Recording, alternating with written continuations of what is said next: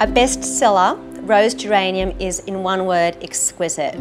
This is one of our most popular essential oils and I use it as a perfume because it helps to balance and calm the mind. But it's also very well known in skincare for anti-aging and for soothing the skin.